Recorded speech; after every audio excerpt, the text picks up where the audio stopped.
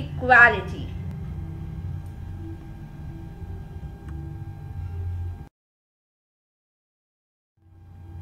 The right to equality means the absence of legal discrimination only on the grounds of caste, race, religion, sex and the place of birth and ensures equal right to all citizens.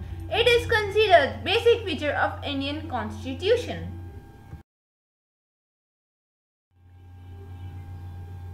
Equality before the law. Article 14. Article 14 treats all the people the same in the eye of the law. This provision states that all citizens will be treated equally before the law.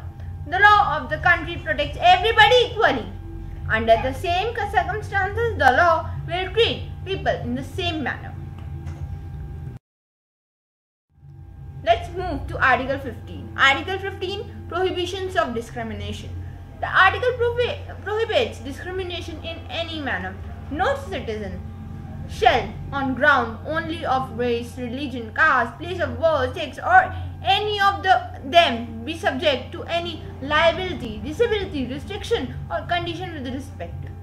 Access to the public places, uses of tanks, wells, ghats, etc. that are maintained by the state or that are meant for the general public. The article also mentioned that uh, special provisions can be made for women, children and the backward classes notwithstanding this article. So, now we are going to study the Article 16. Article 16 Equality of Opportunity in Matters of Public Employment. Article 16 provides equal employment opportunity in state services for all citizens.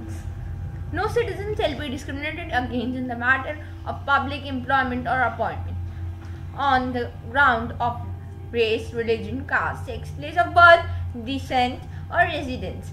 Exceptions to this can be made for providing special provisions for the backward classes. Now, the Article 17 Abolition of Untouchability. Untouchability you know all of you know about the untouchability. Now under article 17 prohibits the practice of untouchability. Untouchability is abolished in all the forms. Any disability arising out the untouchability is made an offense.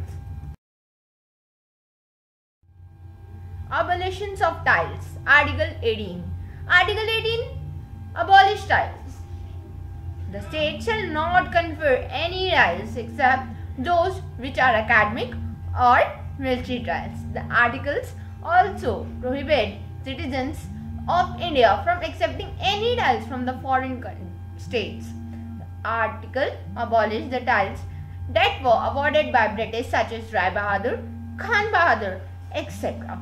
Awards like Padma Shri, Padma Bhushan, Padma Vibhushan and Bharat Ratna and other military honors like Ashok Chakra, Paramveer Chakra do not belong to this category.